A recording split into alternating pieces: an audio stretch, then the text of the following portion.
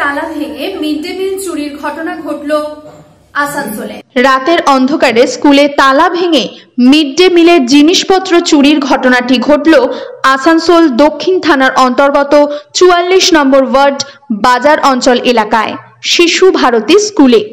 স্থানীয় সূত্রের খবর, সকালে স্কুল খুলতে এসে দেখে তালা ভাঙা রয়েছে। সাথে সাথে দক্ষিণ থানার পুলিশকে খবর দেওয়া হয়। আড়াই কুইন্টাল চাল, পঞ্চাশ কেজি ছোলা এবং কিছু বাসনপত্র, সাথে একটি ইনভার্টার চুরি হয়েছে। তদন্তে দক্ষিণ থানার পুলিশ।